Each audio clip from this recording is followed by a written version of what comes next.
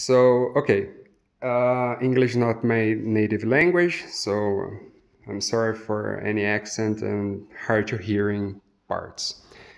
So I was pretty sure that the 9 900E TV that didn't get the Dolby Vision update sure supported it and Sony has kept our TV.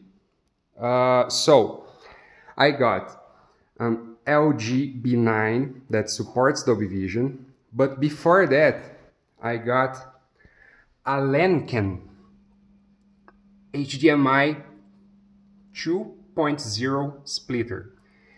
And the cool feature is that it can take the EDID from the first source, the LG TV, and use it for the second output. So I'm using the Oppo 213 player, 203 player, and I had to set the Dolby Vision method to player LED.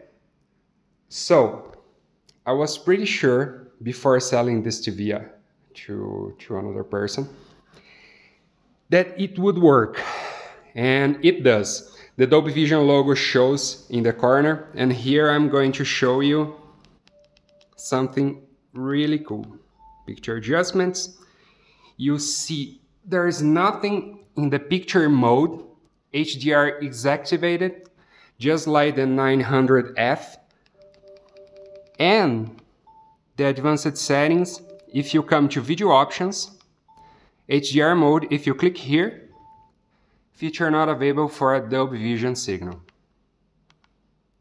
Okay, so to prove this is a 900E TV, here's the label in the back. 905 means this TV is Brazilian, okay? So yeah, I'm going to play, uh, I'm going to play the movie.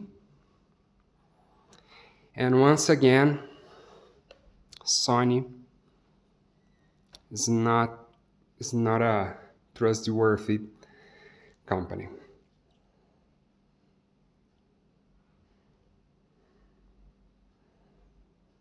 Here, the Dolby Vision logo.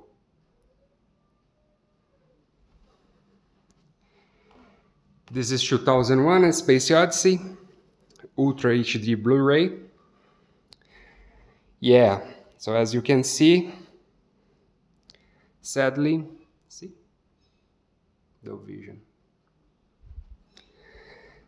Yeah, so think about it when you're going to purchase a new Sony set. I moved to LG, they are not the greatest guys in the universe, but I'm happier with an OLED set.